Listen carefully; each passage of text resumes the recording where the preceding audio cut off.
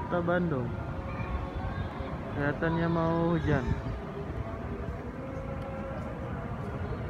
Sudah mau hujan ya guys.